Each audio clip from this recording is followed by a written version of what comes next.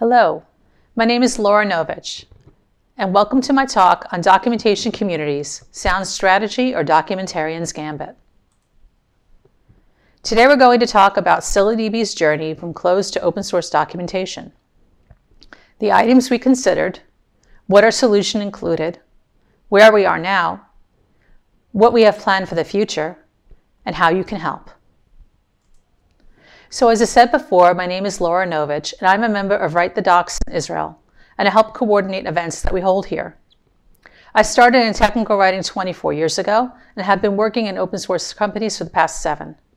In addition to working at ScyllaDB, I teach at Our Best Words, where I instruct and mentor students to become involved in open source documentation. As part of my course, I piloted a project where my students helped GitLab improving their documentation quality. In my spare time, I love to bake, and last summer, during what would have been one of several lockdowns, I binged on The Queen's Gambit. The Queen's Gambit is a mini-series about a young protege who masters chess and is available for viewing on Netflix. I won't say anything more about it other than to say that if you haven't watched it, you should. When I thought about open source documentation, the first thing I did was to create a list of companies who have open source docs. If your company's name is not on this list and you have open source docs, feel free to put your company's name in the chat. GitLab was founded in 2011 and has always had open source docs.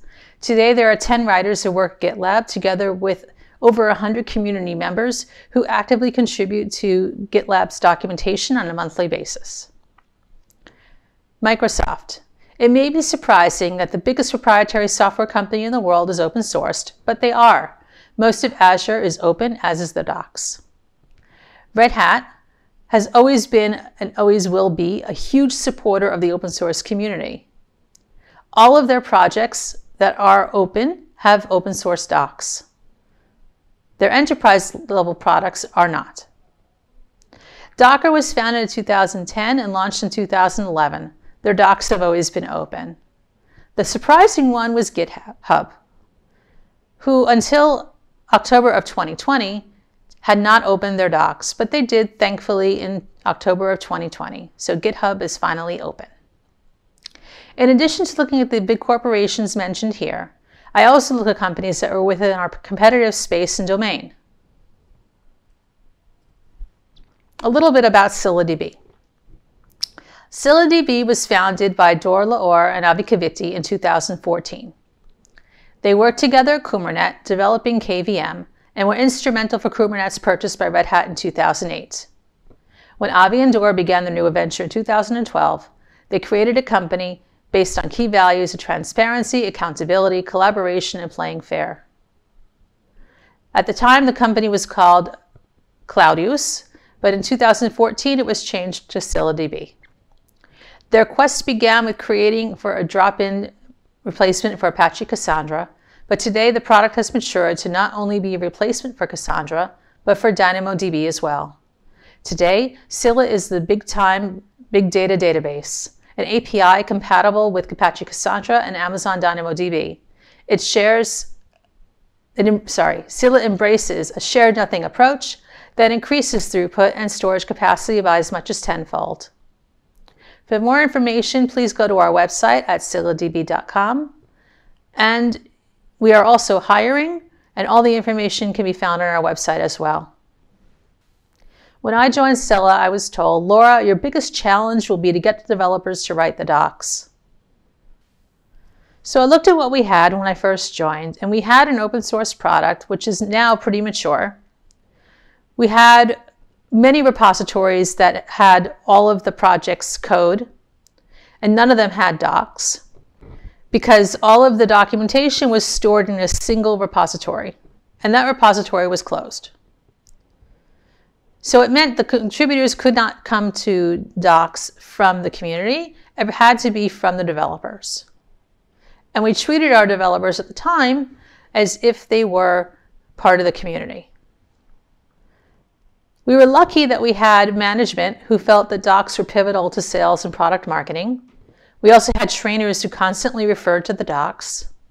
customers and users who actively use the docs. In fact, they open, often opened support tickets citing errors in the docs. We had an open source documentation toolchain, which developers like to use. And we also had a constant stream of new hires in development, which for us meant more potential writers. That sounds great, right? But we wanted more. We wanted to have total commitment from everyone, not just a few developers. We wanted to allow our customers to choose the version of Docs to match the version or branch of the product. We obviously wanted more contributors, not just to Docs, but to the code as well. We wanted our maintainers to create doc releases and to have them release at the same time as the product. We wanted to automate documentation releases and testing, just like code. And we wanted to have total control over everything revolving around docs.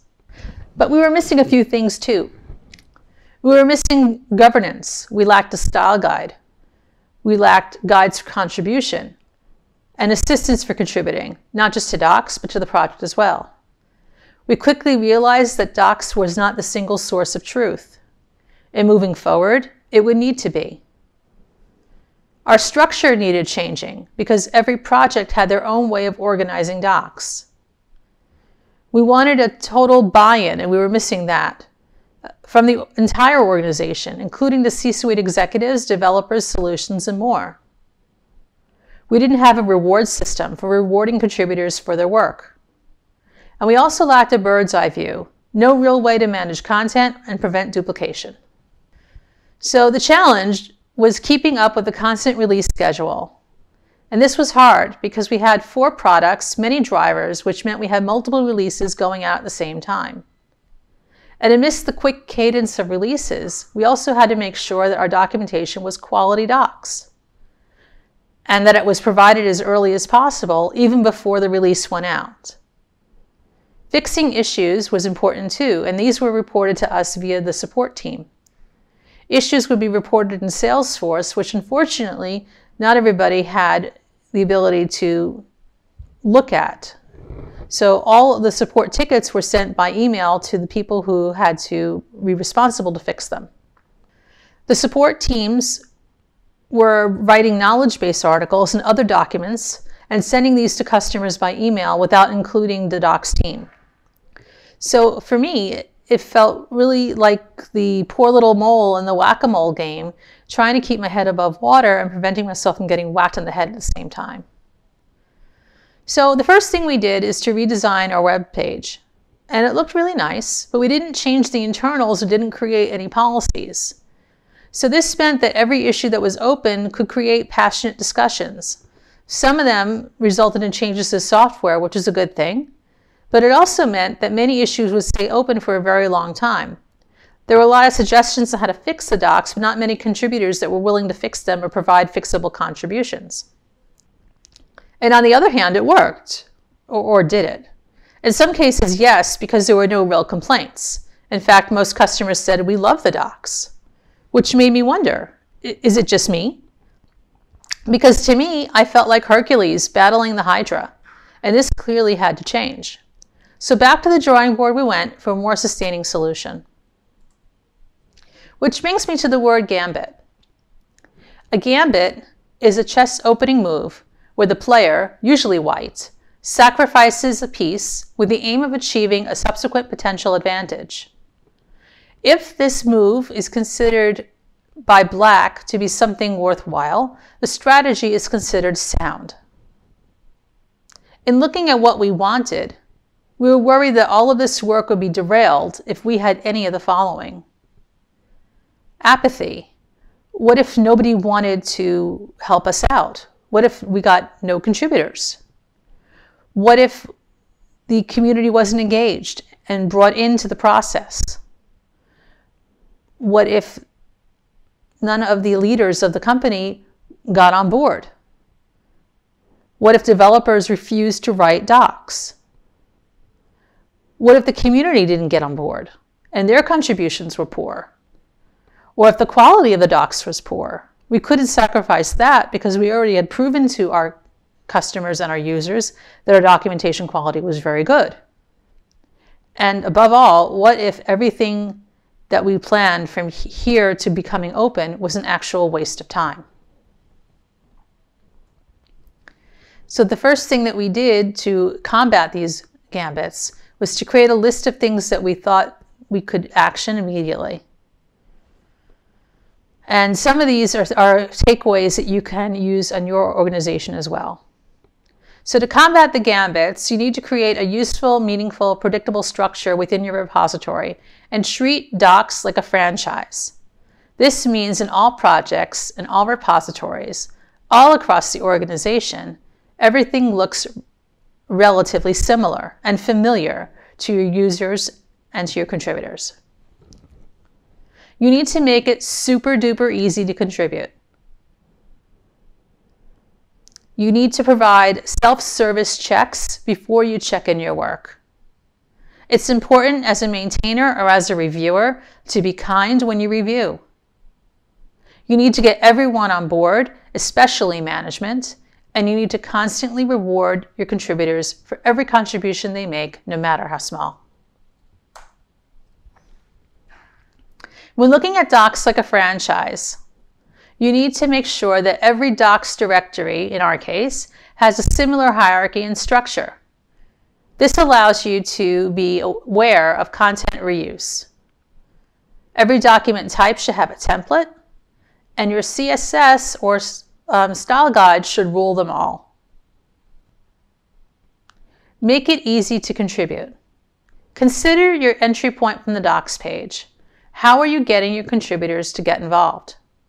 Start with a simple UI change, adding a button, which allows community members to add content easily. Some ways to do this are on the right-hand side of the slide. Not every company has the same icons for contributing, so make sure your contributors know what to do. There are several ways to do this. You should make sure every repository has a README. And inside every README, there should be a section that says how to contribute to the docs. It's also helpful if code is annotated. This doesn't just help your technical writers or your communicators, it helps your developers as well. Treat Git tags in GitHub just like developers do for code. Create a tag for documentation, for easy fix, or for help wanted. Create a Slack channel just for docs. We did this at Scylla not only within our corporate Slack channel, but also in our users Slack channel as well. Participate in writing days at Write the Docs conferences. This allows you to make friends, get suggestions, and get help from the wonderful documentarians of Write the Docs. When looking at reviews, you need to answer all issues, requests, and contributors' communications in a timely manner. Reviews should be done as quickly as possible to keep the information fresh and make sure there are no conflicts. If you're using GitHub for review, there is a way to do an inline review where you can make a suggestion to a particular line of text, and this is truly helpful for your contributors. Be kind and supportive, don't be too critical, and you should never assume your contributor knows everything that you do, especially if they're outside the organization. There might be something that they don't know. There might be information they're not even privy to. And always, always, always thank your contributor for their contribution. Getting people on board the docs train is not exactly easy, but there are several resources that you can use for help. There is a talk that was given by Heather Stetson at Write the Docs Portland 2019 called Any Friend of the Docs is a Friend of Mine, Cultivating a Community of Documentation Advocates. If you haven't seen it, go ahead and take a look. It's a fantastic talk. You can also look at a presentation that I did on building bridges of communication, or you can do any of the following suggestions. Start the docs talk early in the development cycle, before features are developed. Be involved in sprint planning meetings. Be involved in presentations about UI, about UX. Make sure that docs is part of feature development and not forgotten. If you're using an agile methodology, docs should be part of the sprint, and docs should also be part of the definition of done. Now, getting the C-suite executives on board is not easy, but often I find that if you have analytics and numbers, it truly helps. Look at your website, get the Google Analytics, and see how many users you have who are unique visitors, what your page views are, what your bounce rate is, or any analytic that you can use to help you, help you support your case.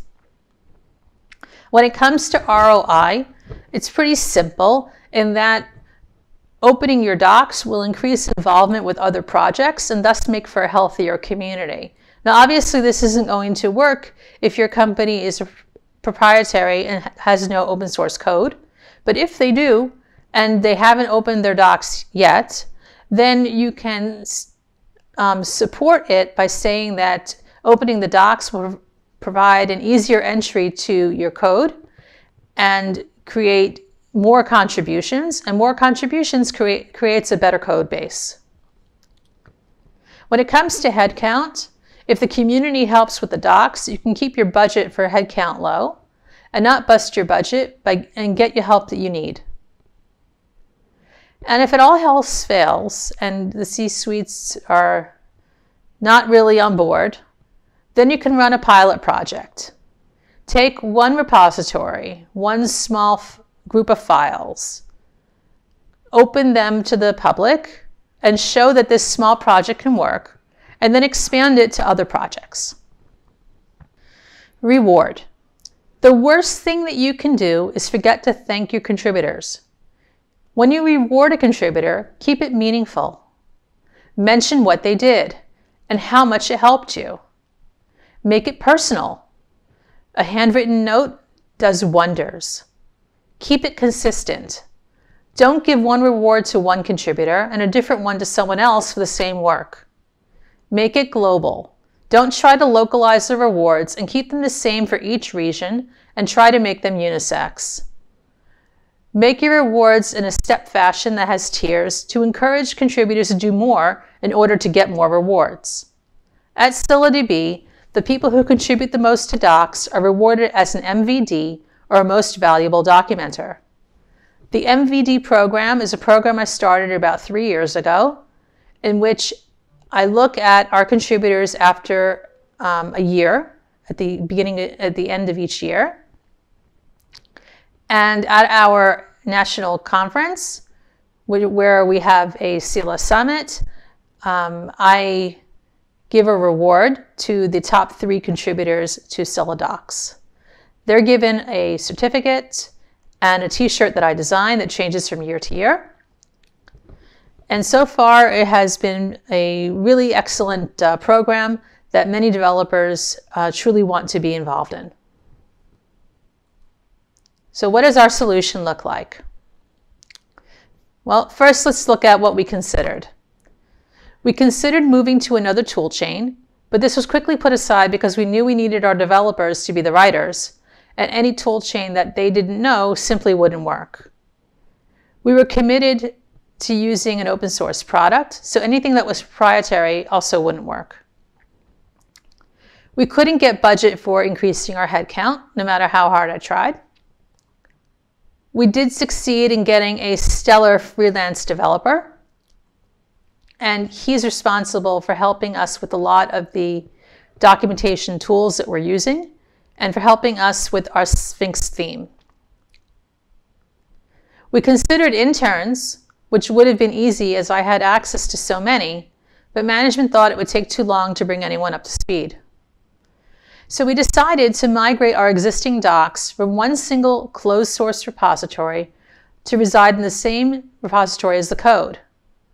This meant that each time the code branched, the docs would too. To allow this migration to occur, we had to pull out the CSS or the Sphinx theme from the docs project and maintain it on an external repository. Once the content for each project was migrated, we were able to implement version control for each site. This would allow the users to select the version of the product they wanted to read.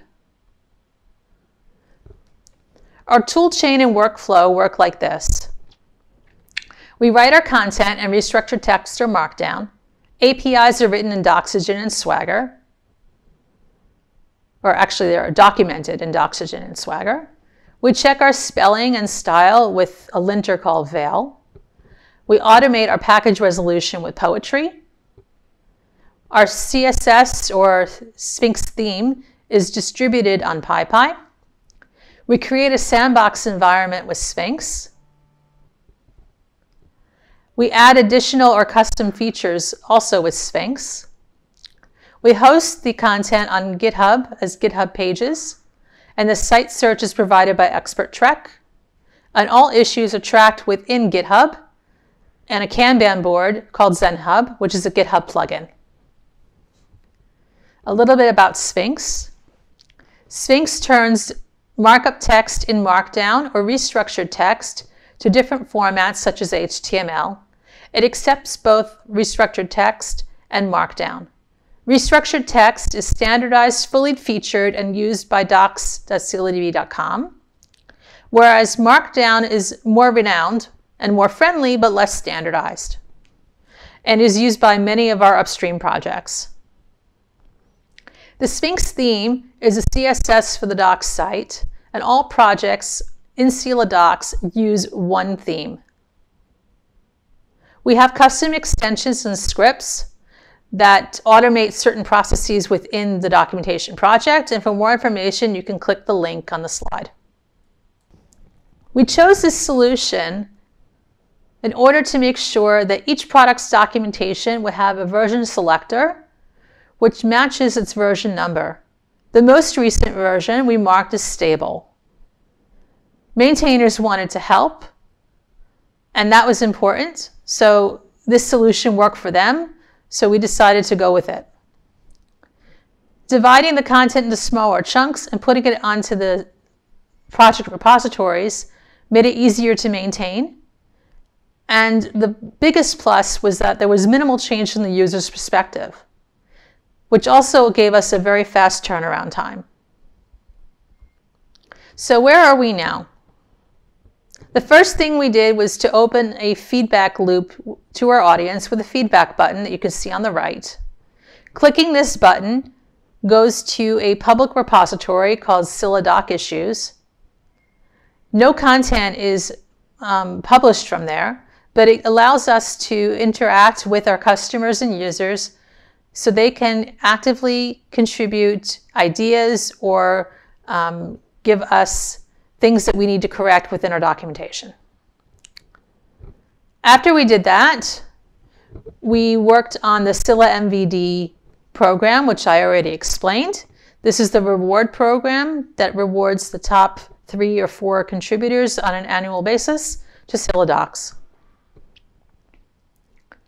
Stage three was the driver pilot project, where we migrated the docs for the Scylla drivers, which included Python, Java and C++. We also migrated other smaller um, projects such as Scylla Manager, Scylla Monitoring Stack, Scylla Alternator, Scylla Operator, and the Scylla CarePet example. In stage four, we wrote a style guide, created templates, and created how to contribute to the docs pages. Stage five, we will split enterprise and open source and migrate that content to the repositories and create a documentation docs site for developers. Stage six, we'll implement a new CSS and theme and run some maintenance checks. So what do we still need to do? We still need to formally split Scylla Enterprise open source and cloud and put all that content into the repositories in which they belong. We need to create some type of formal announcement, such as a blog post or an email, and announce our efforts on our blog and website. We need to implement um, the new CSS theme and make sure all our links still work. Once everything is pushed out, we should do some A-B testing and survey our customers and our users and see if they really like these changes. And uh, maybe at the end, when all is said and done, we can actually celebrate and congratulate ourselves for the good work. So even after all this is done, there's still a few things that we're missing, and if anyone has a solution for them, we are really open to suggestions. One of the biggest gambits, at least in my opinion, is we lack at the, at the moment a component content management system or CCMS. Having one would allow me as the manager to know in every repository where I have um, the availability for content reuse, where content is being reused, in which repository, in which file. I don't have that at the moment. I would love to have that because it would help me with a lot of potential problems. We don't have tight integration with training and marketing in, the, in that we don't have a content management system. And obviously, we need more contributors, not just to Scylla Docs, but the ScyllaDB as well. Which brings me to our conclusion. There are several things that you can do. You can become a contributor to Scylla Docs today. Just click the link. We have applied to become a organization for Google Season of Docs. Our application is currently on our wiki page, and you can click the link to see that as well. You can contact me at laura at scylladb.com and ask how you can help or if you have any questions. And you can join our Slack channel. The link is there too. I would like to thank you for joining me on this journey.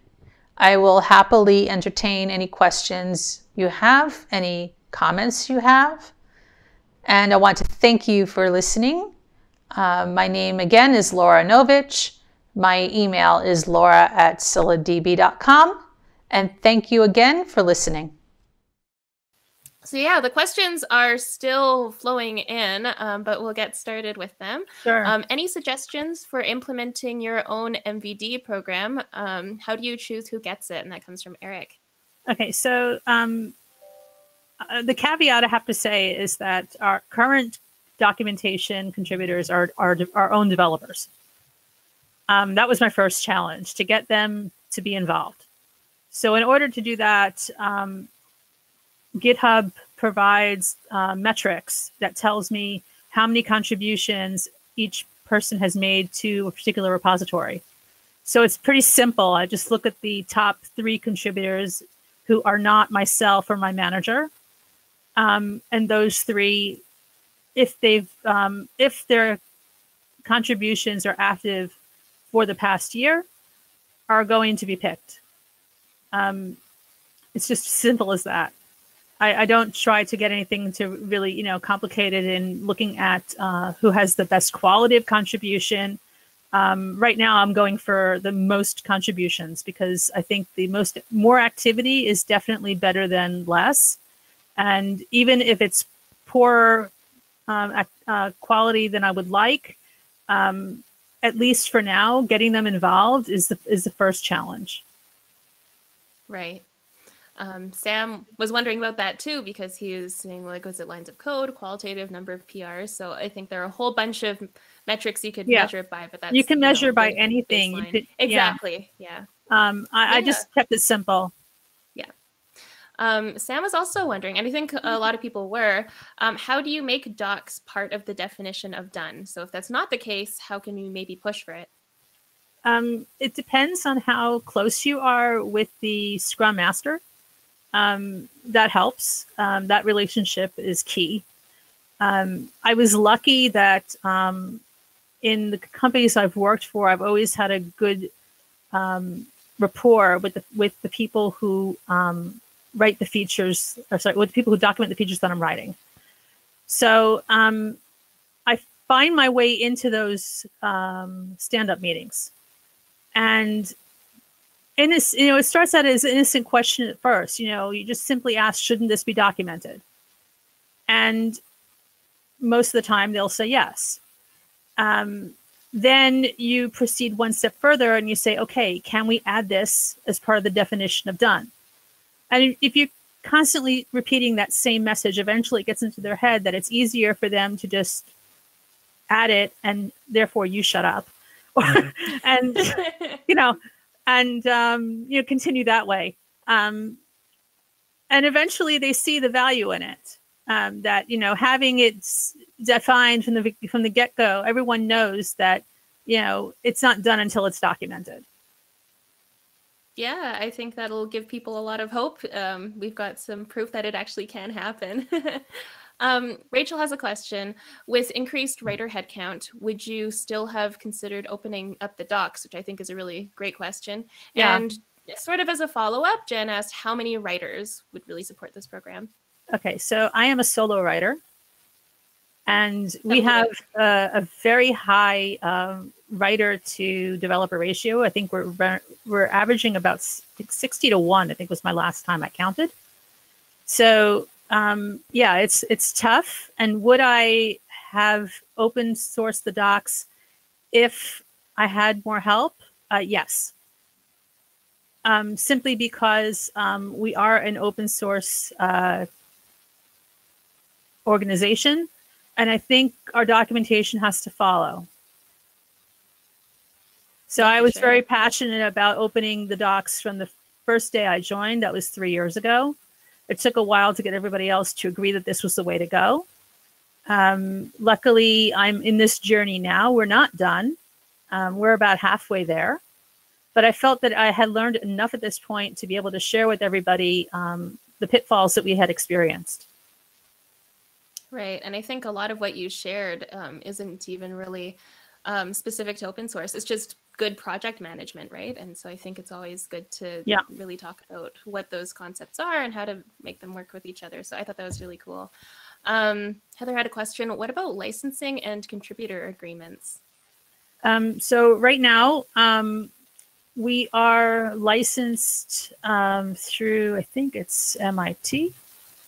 Um, I currently don't have um, a contributor agreement that everyone signs when they um, contribute to the docs, uh, simply because at the moment we're not truly 100% open yet.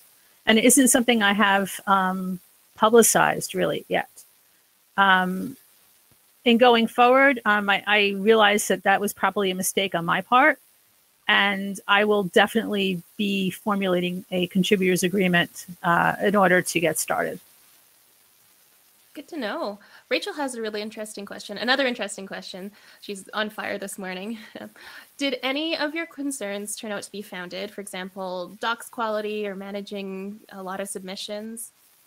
Um, it's still too early, unfortunately, to tell. Um, I'm still in the middle of the muck, so to speak. And um, I have to get on the other side of it in order to honestly be able to evaluate whether or not this was all really worth it. Um, my own um, fear aside, when I started this whole process, was um, you know that I it, all this would be for nothing, and in l- looking at what we've done so far and where we want to go, um, that part of me has actually um, come to the conclusion that it's not going to be as bad as I think. Um, what is going to help is going to get more contributors to the actual code base. And that is something that we as an organization are going to have to figure out. Um, once we get that going, I think docs will just naturally follow. Yeah, makes sense. Um, we've got probably more questions than we can cover in the time that we have, but I'm seeing some questions come up about I, people I think are um, are curious about your about your Git setup. And so yeah. Tommy was wondering why create a separate repo for issues in addition to the main docs repo? Okay, so it, initially w- what we had is we had one pro- closed private repository and we weren't opening it. So when we implemented a feedback button, we needed a way to create issues that was public.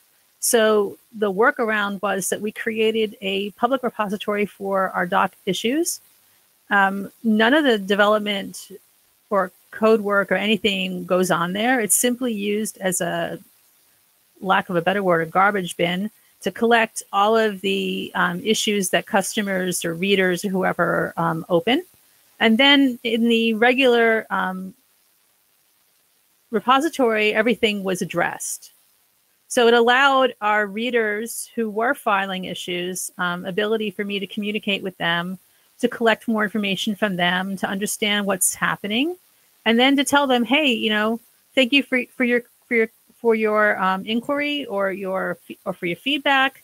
Um, here's um, your issue has been fixed or is in is in process or whatever the case may be. Is, is this this particular repo allowed me to um, communicate with all of our readers, which is something we didn't have before. Um, will this repository still remain once we're open? I'm not sure. Probably not. Right. Interesting. Um, and then some questions about what happens after that. So Alexandra is wondering, do you have someone dedicated to moderating and vetting the contributions, or is this a shared task among the team? And do you accept a lot of contributions? okay, so team is currently just me. Um, yeah. so yeah, it, um, it, it's becoming pretty um, difficult now that we've done this whole massive migration process. So I'm no longer looking at just one repository. I'm looking at 12. Um, so we are going to eventually, well, we already have, we're going to hit critical mass and I'm going to need more help. And eventually, um, those above me will understand that increasing my uh, headcount is important. And we'll get there. Um, but right now, what, what we have is we have a two step review process. So um, I review all um, pull requests that come in. Um, sometimes my manager does that as well. He's the product manager, Zach. Um, and then we also have um, a review done by another developer who didn't write the docs. And possibly somebody from the solutions team also takes a look. Um, QA sometimes comes in and tests the solution, making sure that it works according to how it was written. So essentially, there there are enough people looking at any particular issue. So I know that once all everyone says it looks good to me, that um, that it's ready to be merged. Um, almost every contribution that is that is given to me, I test. So I make sure that it actually works opposite the system. The one thing I may not have mentioned is that um, I always run my doc tests on a green system, meaning um, something that's a fresh install, because developers tend to have their own setup that may include something that customers may not have. And for me, it's important that we test our um, all of our procedures on a system that looks exactly like the way the customer gets it. Perfect. Well, thank you so much, Laura. Unfortunately, we're out of time and we've got some questions left. So I hope that people will reach out to you. Um, there was a question about your slide deck being available. I've seen you're already on the ball. You've already posted it. And I hope that's just fodder yeah, for um, discussion just, in the future. Yeah, but basically look me up on uh, LinkedIn. All of my slides are um, there. Um, I will be updating my LinkedIn profile um, in a matter of minutes with with this new slide deck. I, I didn't realize that in between the time that I created this talk and the talk that I gave in February um, locally in Israel, my slide deck uh, differed slightly. So I'll upload a, a, new slide deck and have that ready for you um, to use. And uh, like I said, uh, contact me on Slack on LinkedIn uh, any way you want. Um, I usually don't go to Twitter. So if you're looking for me there, you're wasting your time. But um, any other uh, platform is perfectly fine. Great. Well, thank you, everybody. Thank you so much, Laura, for sharing all these ideas with us. What a great way to start the day.